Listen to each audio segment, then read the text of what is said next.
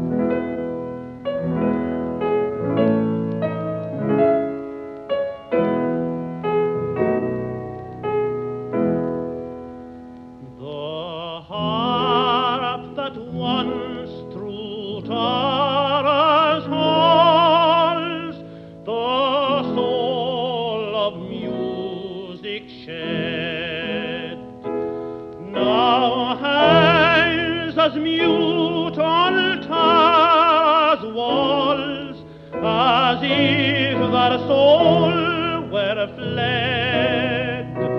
So sleeps the pride of former days, so glory's thrill is o'er, and hearts that once beat high for praise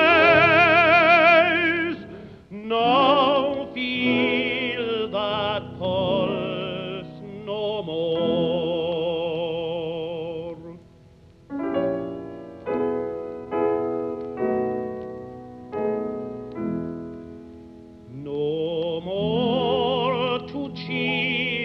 and ladies bright, the harp of Tara swells,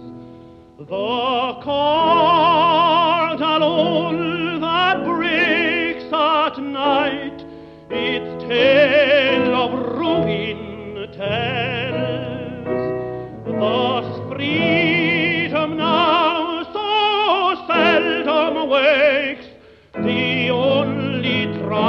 drop she